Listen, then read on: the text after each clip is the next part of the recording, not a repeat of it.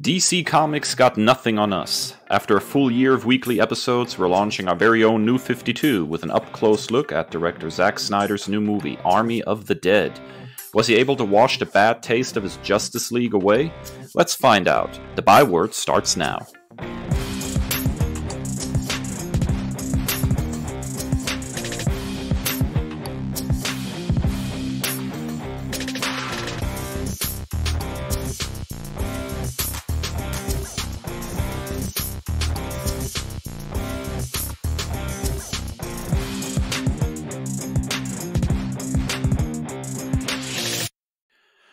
Back, nerds across the globe. It's time for a brand new oven fresh episode of the Nerd Byword.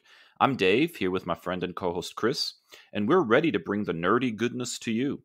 In today's episode, we're tackling the new zombie movie from director Zack Snyder, Army of the Dead. But first, we have to tackle our open tackle our opening segment. Nerd news. That's right, nerd news. Kris, what's good? Well, at long last, fans got their first tease of the upcoming MCU film Eternals, a movie that features a group of immortal beings with superpowers that have lived in secret throughout much of human history.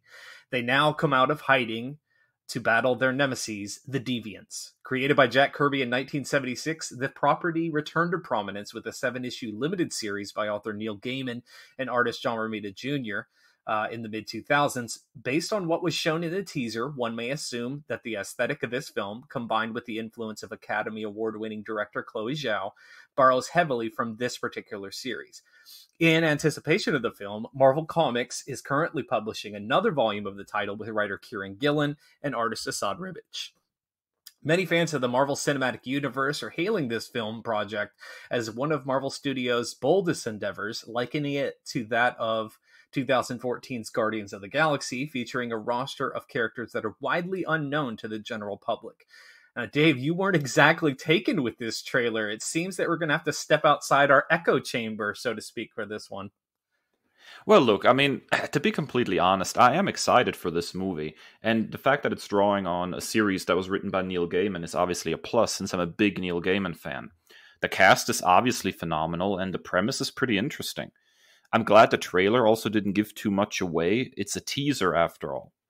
I think where my disappointment comes from is just that I don't understand why nobody ever in any movie seems to be willing to go full Jack Kirby you know, I love Kirby's bonkers visual style. It's so distinct and and historically has been colored in these bright popping colors. A movie that would be willing to hitch their wagon to Kirby's style would be probably one of the most visually distinctive and unique movies period. And yes, I'm a DC fan more so than a Marvel fan, but this is not me belly aching about the MCU, which I really enjoy. I said the exact same thing about the depiction of the new gods in Zack Snyder's Justice League. It seems that Hollywood likes Kirby's ideas, but not his visual style. And I find that simply regrettable. I would love to see a movie go, you know, full Kirby once. In the end, you know, the big costumed group shot uh, at the end of the trailer felt a bit visually safe when it could have packed a lot more Kirby punch. That's not to say, again, that I'm not interested in the movie. Uh, I just want some more Kirby on the big screen. I love his visual style, and it it never gets the respect on the big screen that I think that it deserves. Yeah, so I, I, guess I'm the wrong tree to bark up with that. Um, I'm personally, I know this is you know almost uh, I don't know uh, blasphemous, but I'm not a huge Jack Kirby fan. I appreciate his contributions to the medium of comics. It's just his art style is not to my particular taste. Um, I also am not a huge fan of like bright, vibrant colors. Uh, I, I, I typically like you know the the black suit Spider Man. Um, I, I, like darker colors. Typically, that's just for my personal taste. Um, and I just think that you know with the evolution of art over the years since you know this product was initially created and, and kirby you know was in his heyday I, I, think just art has has evolved and i don't think that a lot of that translates very well to screen. I think one of the few exceptions you have is something like thor ragnarok um, but even then some critics say that that's not kirby-ish enough Um, so I, I don't know where we where we find a happy medium at this point. I think this um, I think this particular entry, at least what I've seen of Chloe Zhao's work on on something like Nomadland, it seems very very kind of in line with that. Um, you know, and combined with kind of the aesthetic that they're going for, kind of like a biblical type epic. Um, it, it seems kind of you know uh, continuous with that kind of vision. Um, as far as like a full Kirby thing, um, I think it's I think it's a slippery slope because when you uh, uh at least the entries that we've seen where they try to go for those bright, bright colors and snappy things, it comes off as a little bit goofy. Um, I'm thinking of something, you know, along the lines of like the original Fantastic Four films from the early 2000s or, or something like that. So, oh, don't tell me now that you like the dark visual style of Fantastic Four Stick better. Oh, Come oh God, no. Uh, you know, like they, I, I believe in moderation. My life motto is everything in moderation, and that's the opposite end of the spectrum. That's absolute garbage. Where they, it's it's almost like um, when you when you drive on the side of the road and you trail off and you hit that that buffer and, and you like, oh God, and then you overcorrect. I think that's what that film is. It's an overcorrection, and you know that that film is just absolute nonsense. And I think the reason that I join you in my criticism of of the Zack Snyder verse is you have those muted costumes combined with several other factors like the poor CGI, uh, the slow motion, and then also overwhelmingly the dark lit environment. Like it's hard to see anything in a lot of those scenes. You have like a black sky, and and you know we'll get into this a little bit with our our film review of Army of the Dead, but it's hard to see anything. It's like that one episode of Game of Thrones where it's like, did somebody forget to pay the light bill? Good God, I can't see anything. So I don't think that this film is going to to fall into that. Um, but but I, I definitely see where you're coming from. Well, and when it comes to you know bright, uh, you know popping colors don't work on the big screen. I actually love the visual style of Thor Ragnarok, and that particular uh, interpretation always, you know, doesn't really land with me just because my all-time favorite dude on the big screen is, is Superman, and the best Superman suit by far uh, to my liking at least, was Chris Reeves, which was exactly that that bright, popping color in a really vibrant, bright world. But you know, that's not even really the ultimate problem. I mean, to me, when you're talking about uh, a property like the Eternals, which is you know these these ancient you know basically almost godlike creatures you know they've been around forever it seems so odd to me that they would dress basically like um almost perfectly in line with with the um general visual aesthetic of the rest of the MCU. Like these these uh, individuals have been around forever and and have you know traveled the universe, and you would think that they'd be a little more outlandish in some of those visuals. But again, they're trying to take a property that is pretty unknown, and they're trying to kind of file down some of the uh, eccentricities of it to try to make it land with the general public. And I understand that. Again, I, I would be thrilled to see something one time that's just absolutely bonkers Kirby on the big screen because with modern special effects, I think something like that could be a real spectacle and unique for a change, which is one of the criticisms I think um, fans fairly, I think, uh, level at Marvel Studios sometimes is that a lot of their stuff kind of falls into the sort of samey category. Everything has a sort of almost a house visual style, and everything is kind of well, well, samey, I guess is the best way to put it. Which you know is not necessarily a bad thing. I mean, if if you got a good hamburger, you're probably going to go back for more. Um, and the MCU delivers good stuff.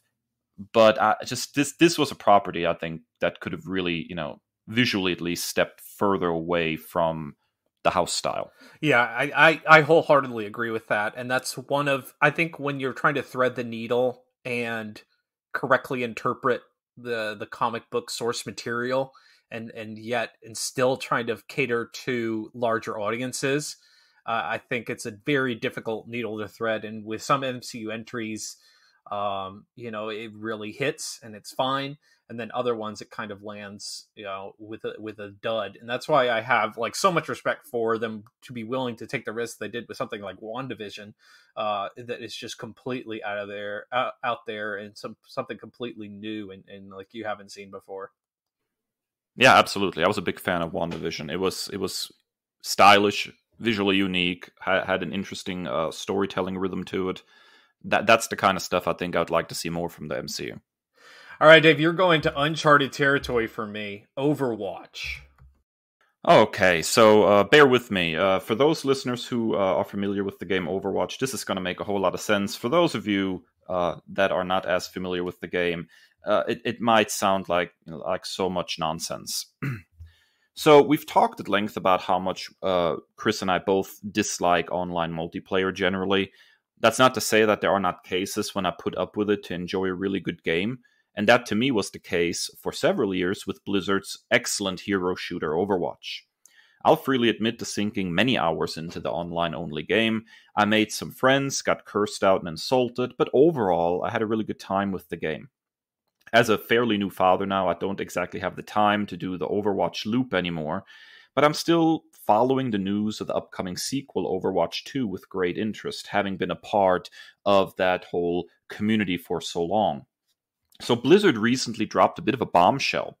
In the sequel, they will be reducing team size from six people to five. That's a massive shift inside the game.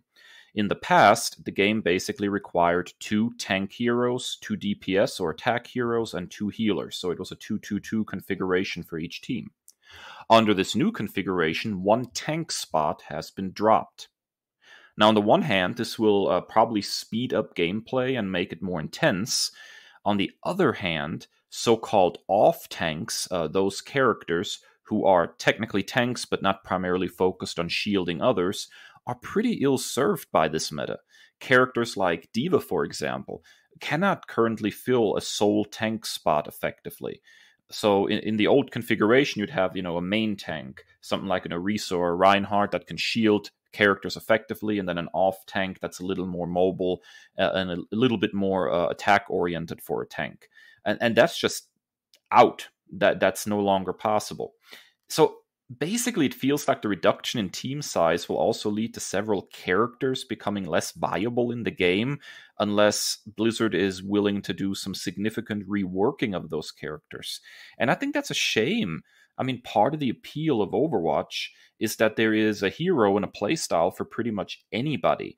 Um, knocking out a whole bunch of heroes now out of the rotation because they don't fill uh, that one particular tank role of shielding, you know, other players. I th- I don't know if that's necessarily a smart choice. So I'm still watching as more news unfolds, but I'm unsure as a pretty seasoned Overwatch player whether I really enjoy this change, Kris. Okay, so here here I was worried, but but you're speaking my language. It's just a different game, so I know all about. Uh, for those of you that don't know, DPS is is damage per second. So you, when you're building a character or or gear, you want to go for heavy attack, lower defense, and and and then you know tank will absorb that damage, and then of course healer is pretty self explanatory. So this this you know I'm very familiar with this terminology. It's just a different game. I played I played uh, the Division Two, and it was basically the same thing when you're team building Um, and and that was by and large the one online multiplayer game that I enjoyed the most, and I was lucky enough to find uh, some good teammates uh, in Division Two. But um, so yeah, that that really is like a significant thing when you think about you know you have you're relying on two tanks to take the majority of the damage, and then just completely removing one of those. That's a that's a significant shakeup. Yeah, and you know, I'll, uh, like I said, I'll be watching it pretty carefully just to see how that shakes out. I did read um, there's a workshop mode in Overwatch where fans can kind of make their own game modes, and they've already made a game mode that kind of implements those changes so they can test it out. And and some of the players seem to be um, you know pretty positive on the changes. Some are pretty negative. There's also, of course, the question of Overwatch League. Now, there is you know professional league of Overwatch players now, and a lot of the teams basically now don't need half of their tank players. So so that is a significant change for them as well. There might be some uh, some loss of employment there as well. So this is this is a pretty significant change as far as the world of video games is concerned. Yeah, for sure. It's it's it's almost like a if it ain't broke, don't fix it. It's, it makes you wonder why they would want to shake something up so much like this. Oh, Overwatch, Kris, has a horrible history for shaking up constantly. I mean, this is probably one of the most significant changes in recent years. But, you know, when the game first came out, besides, you know, dropping new heroes occasionally, I mean, they would go in and completely rework some heroes to the point where players who mained those characters found them suddenly unrecognizable and had to learn how to play that character again from the ground up. So Blizzard has a long history of constantly changing and rebalancing Overwatch. Uh, I'm not shocked that they would make a change like that. Just still not sure if it's the right move in my book. All right, that's it for Nerd News. When we come back, it's time for the main event an in depth review of Zack Snyder's Army of the Dead. Don't go anywhere.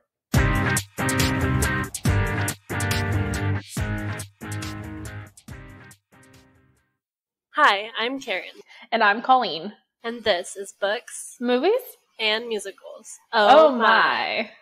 Come join us as we discuss our favorite childhood stories in analytical and honest ways. Most recently, we've been discussing Harry Potter and Disney princesses. We have so many more ideas and we can't wait to go through them with you.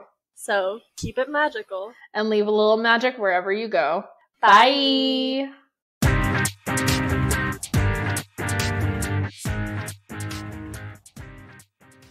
And we're back and ready to talk about Zack Snyder's new film, Army of the Dead.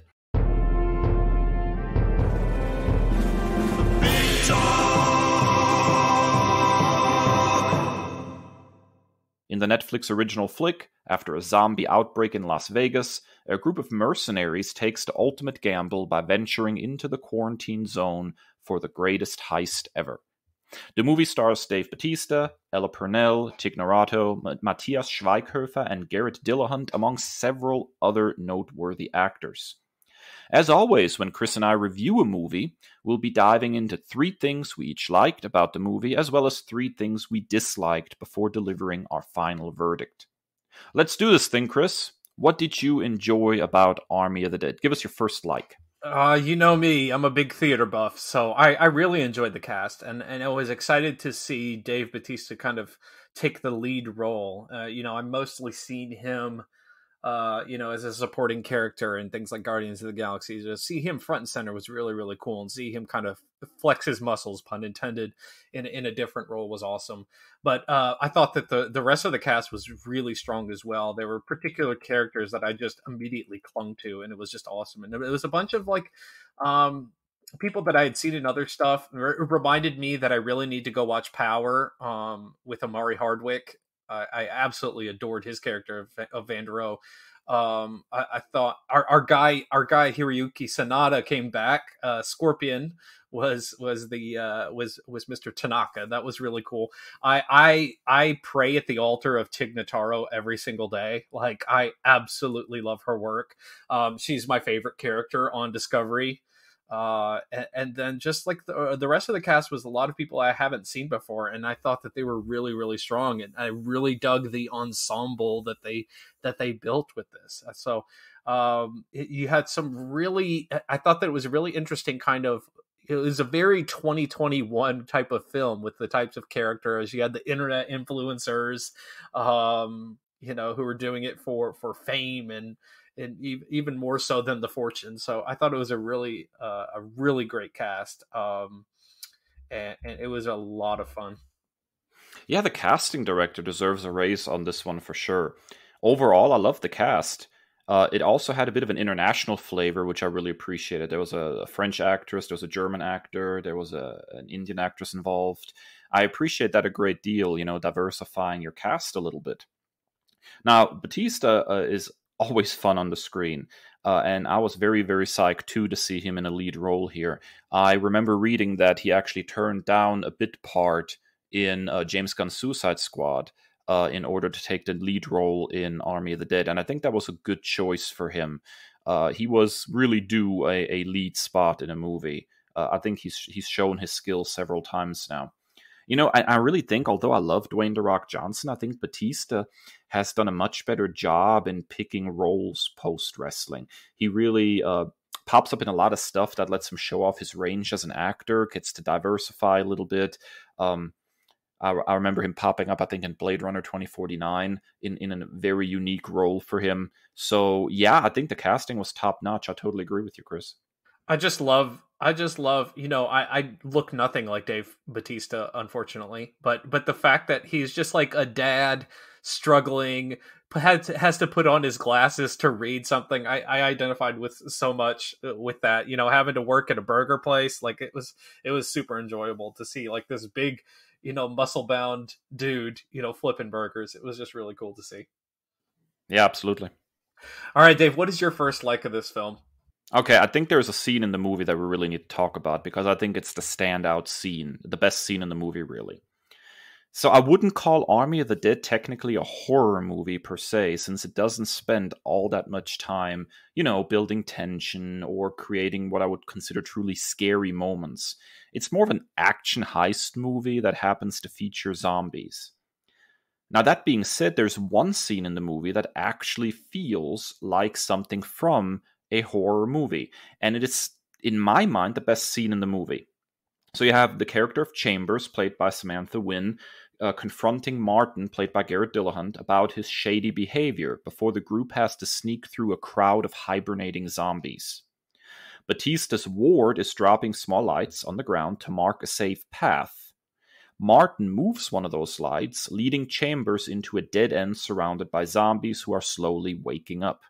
Now, here, the tension that Snyder builds is perfect, as the audience is aware that Chambers is heading the wrong way, even though she's not. And then, one after another zombie slowly awakens, and Chambers tries to silently take them out, only to slowly become overwhelmed as more and more zombies wake up. That sort of tension, that's horror movie classic right there. That's the kind of flavor I'm always looking for in a scary movie. And and Snyder shockingly just really did a very very good job in racking up that tension. I really wish the movie would have featured more scenes like that. Now, the whole thing then explodes into a huge action piece and actually turns out into one of my favorite action set pieces in the movie. I mean, Chambers simply refuses to die. Every time you think she's done, she pops back up and keeps fighting for her life. The whole sequence just works. But those opening moments made me believe that Snyder actually could pull off an actual horror movie. So kudos, it was a fantastic scene. I loved I loved that scene when she busts out through the window. You just assume she's dead, and then she busts out the window. It was so awesome. Uh, yeah, and and a lot of people are making a lot of jokes about how she's a direct lift from a, a character, I think from Aliens. Um, but I, I thought that she was an amazing character, and just that dramatic irony of you know what Martin has done to stray her from the path, and she hasn't figured it out yet. It, it absolutely builds that your adrenaline starts pumping and then you just oh man okay she's dead. But then she busts out. I mean she does and, and uh, ultimately full spoilers dying but it was a, it was an awesome way to go out. The only thing about that scene that rubbed me the wrong way is the very end right before she dies. She had an opportunity to warn somebody about Martin and didn't, yeah. and that that kind of defied all logic in that moment. Like either either the movie should have had her die in a way that she would never had the opportunity to speak, or she should have been able to get off a warning about Martin. Otherwise, it just it just came across as this incredibly competent character suddenly doing something incredibly stupid. All right, Kris, what is your second like for Army of the Dead?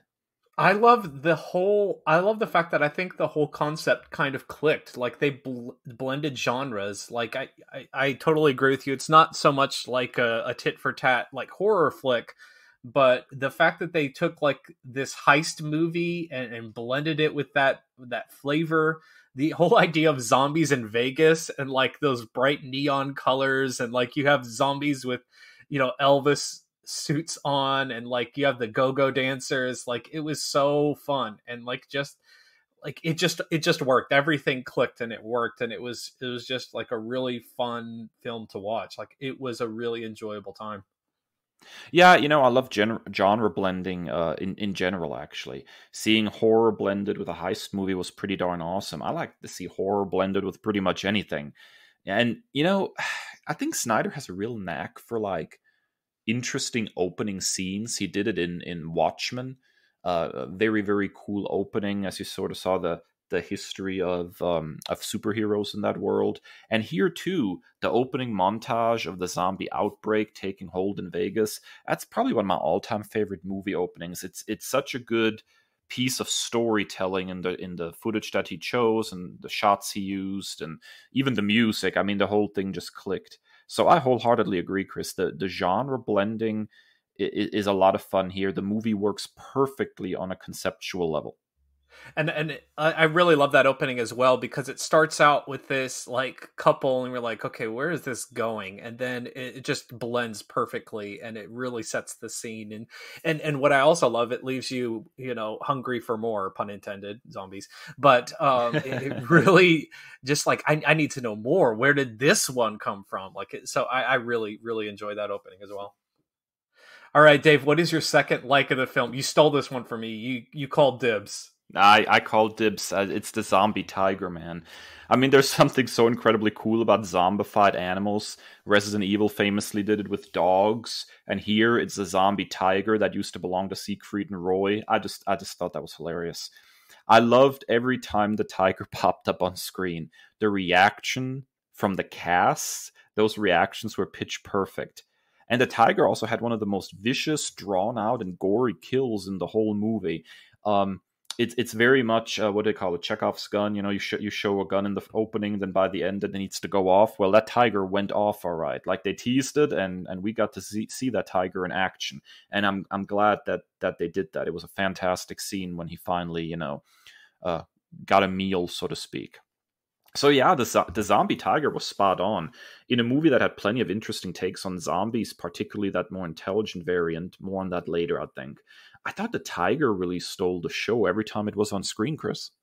Oh, absolutely. And that kill that you mentioned is the one that that I don't know about you, but I was waiting for the whole time. I, I Martin finally got his after after some really nefarious behavior and you really it's one of those aspects of of a horror movie um that you there's that one character but like I can't wait till this dude dies. And and and to be taken out that way in that fashion by the zombie tiger it was just so rewarding and it was it was one of the moments that i stood up and cheered. You know garrett dillahunt kind of confuses me.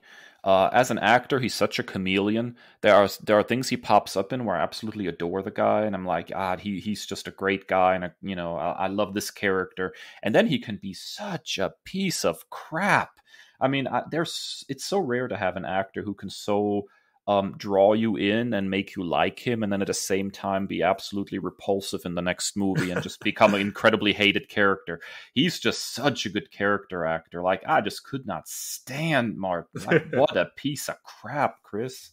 Yeah, that it gets into one of my my my future points, but I totally agree with you. All right, Kris. Final like fours uh, Army of the Dead.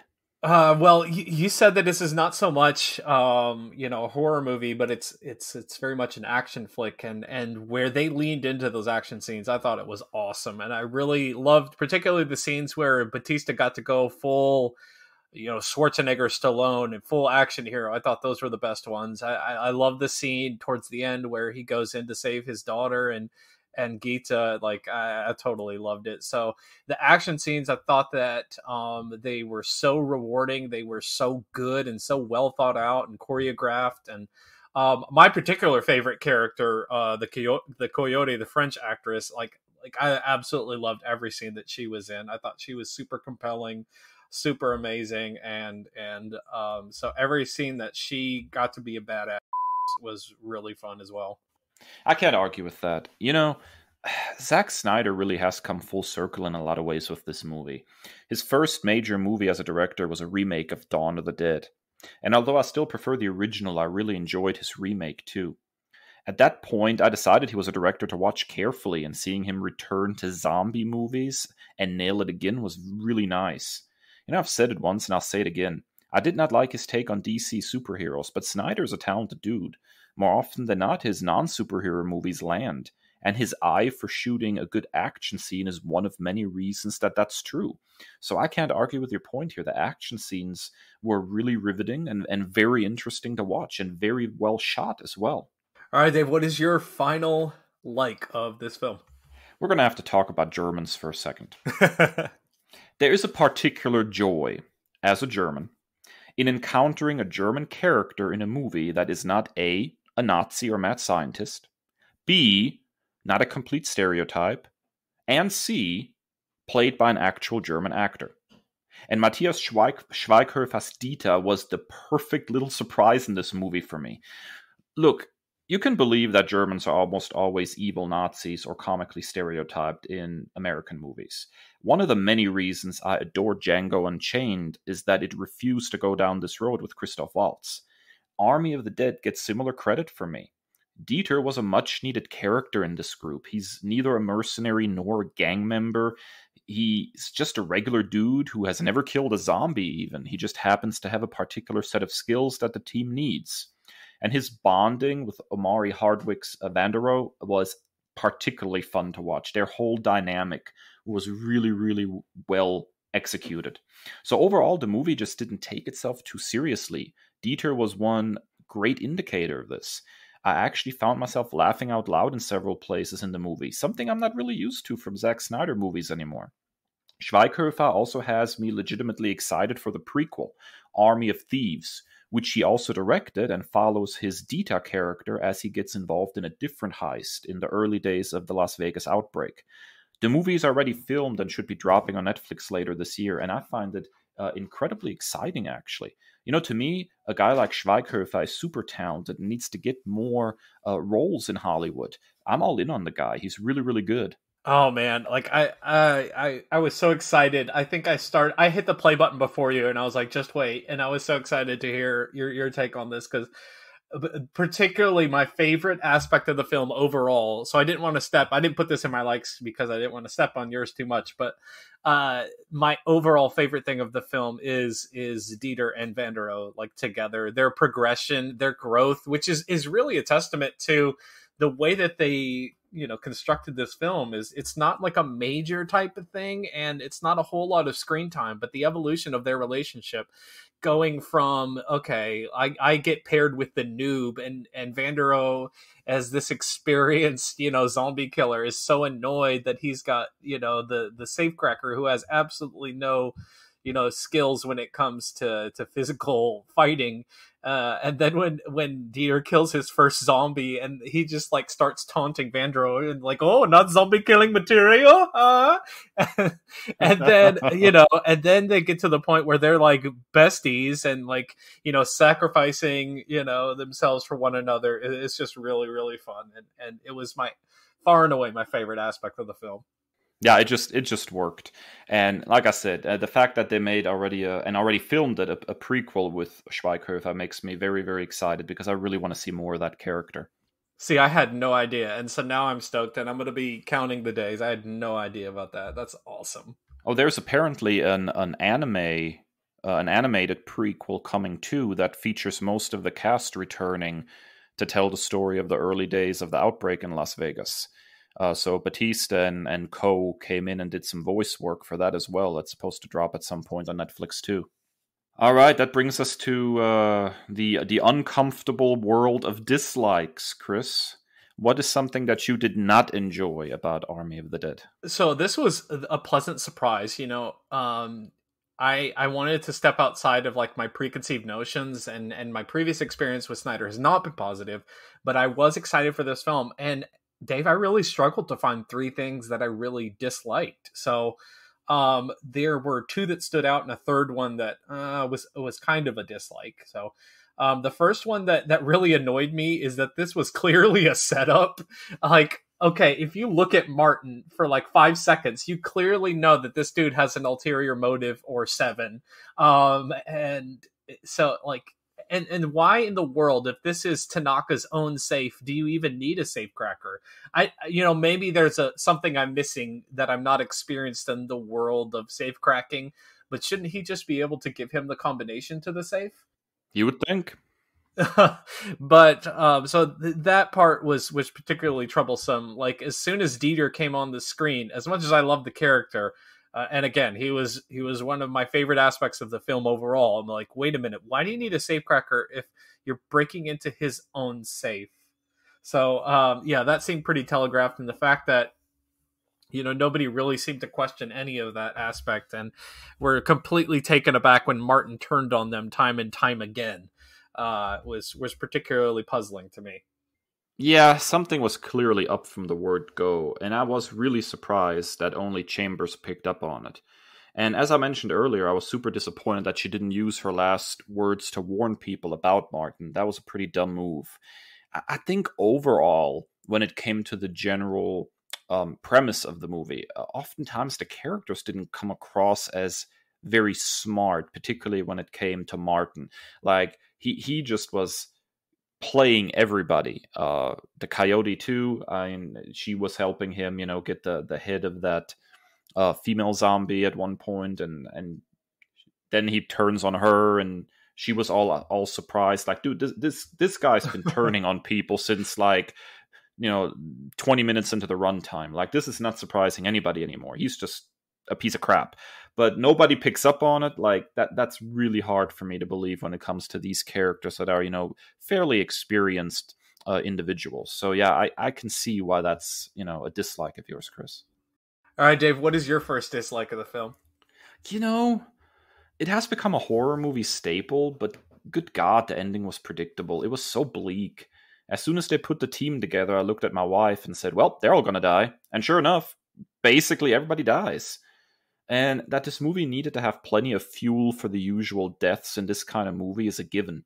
But the ending of this movie was particularly bleak. It didn't leave a whole lot of room for a sequel that would follow characters we liked in this one, which is strange considering it clearly sets up a sequel. So, yeah, I wish the movie would have ended on a slightly more positive note, you know, giving us one or two surviving characters that you, you know, deeply care about and would want to, you know, see come back for the sequel as they put some kind of new team together. You know, have maybe Bautista survive, for example. Spoilers, by the way. Um, but just a couple of surviving characters would have made a big difference. Because now I feel like if they make a sequel, it's going to be essentially a, a, retread. You know, you're going to get a, a new group of people that are going to be put together to do some kind of job in a new city where there's a zombie outbreak, and it doesn't leave any room for character growth or progression because you already hit the reset button. Um, so yeah, I, I, think that's a little disappointing overall. Yeah, I, I also found that it was um, unfortunately predictable. The ending. I also thought it was a little bit odd that um, Bautista's character would make his daughter kill him, and like he wouldn't just like off himself if he knew that he was bitten. So I thought that was a little bit messed up. Like, why would you make her do that and go through that trauma that you know that you felt having to kill your wife. So I thought that was a little bit messed up.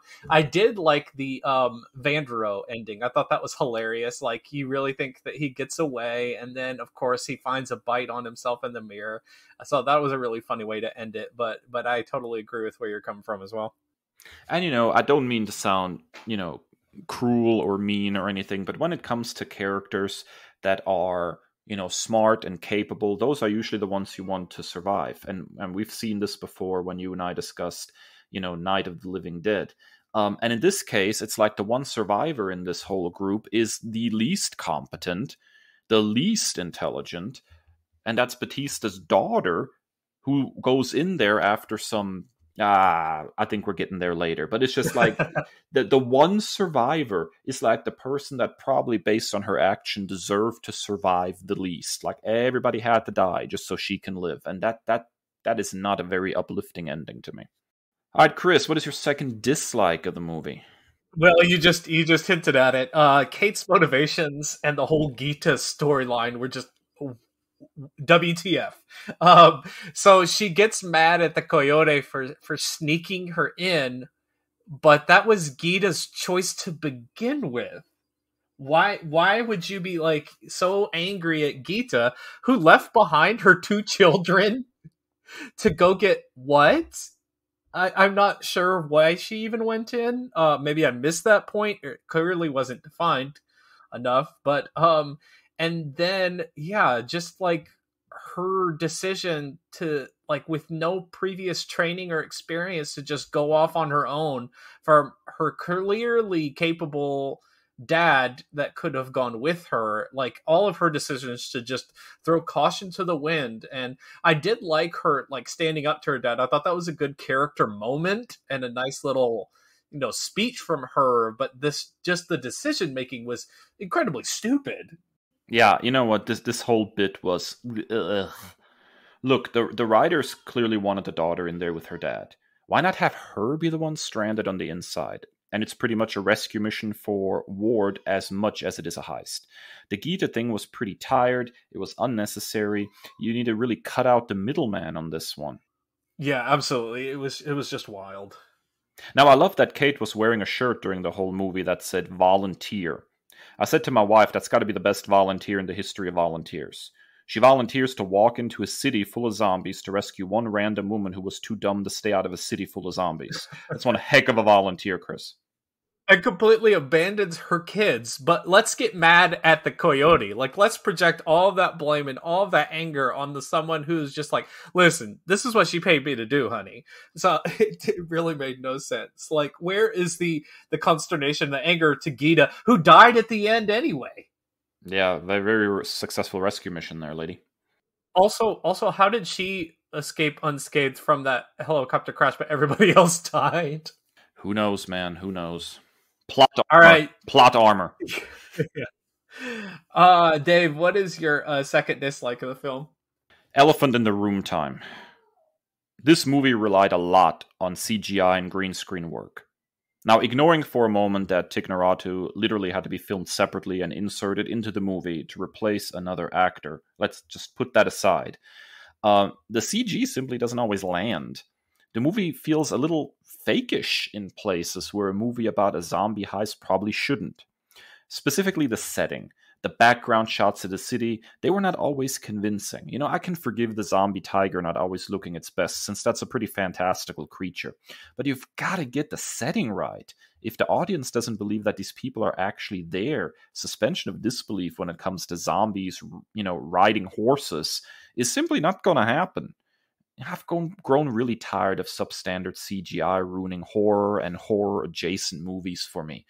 I know it's cheaper than other alternatives, but regrettably, more often than not, it also looks cheaper. I miss, you know, more on location filming and, and, and practical special effects. Those sorts of things, they have a tendency of having real weight. They land better.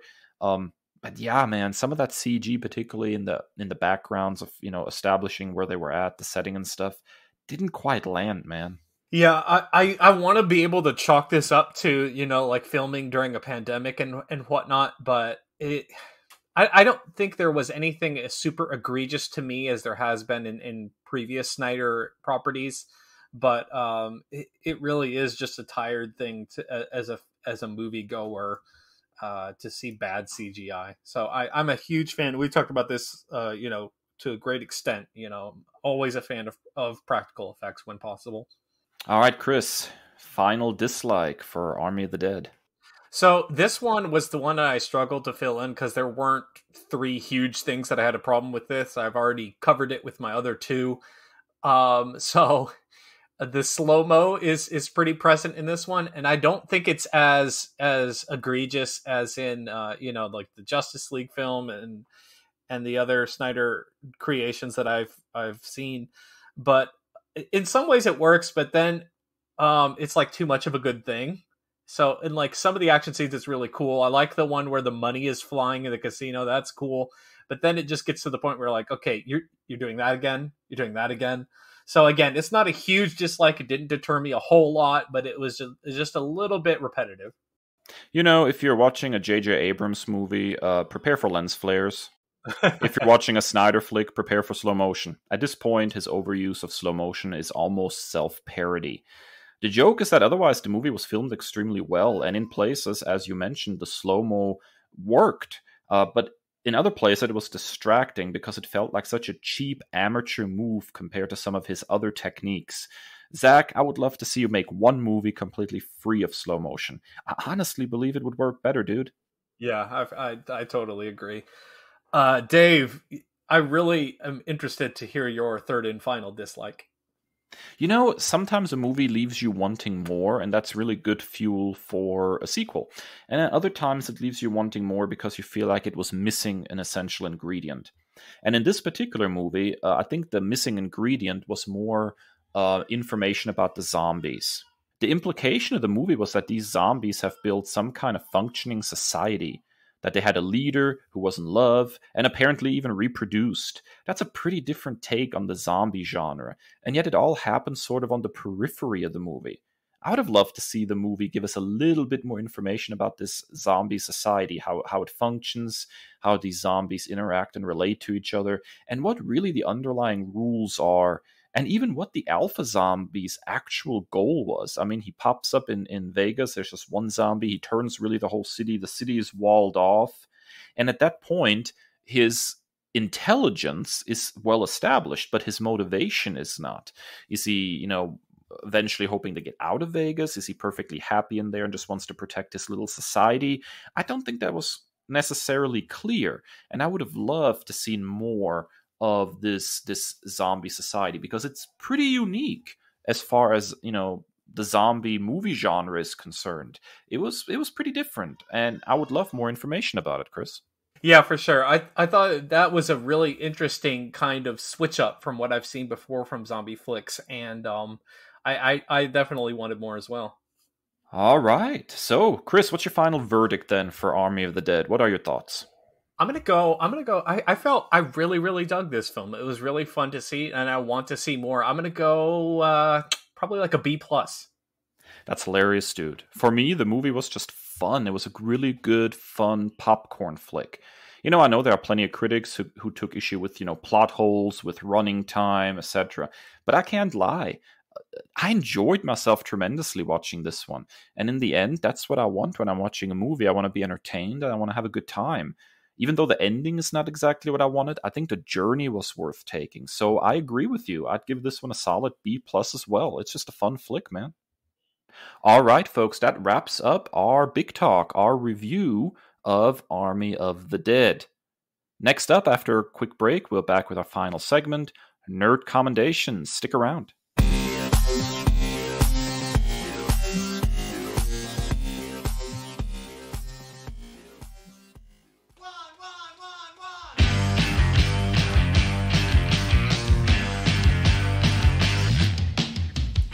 G'day. How's it going? Nice to meet you. I'm Stu, I'm Chris. I'm Dave. and we're the Pool Boys. We're the hosts of.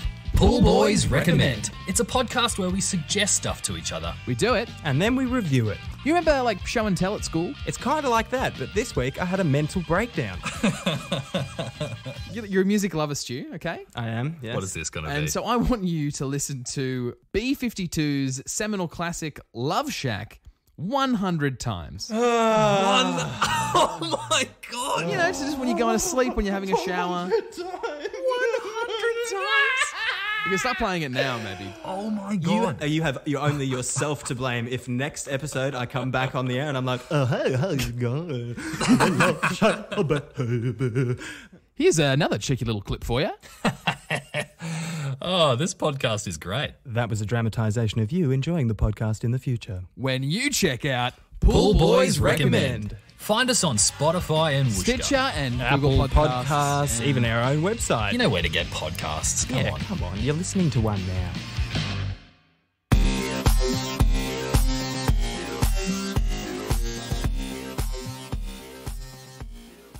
Welcome back. You need nerd media, and we have the perfect recommendations for you. It's time for, you guessed it,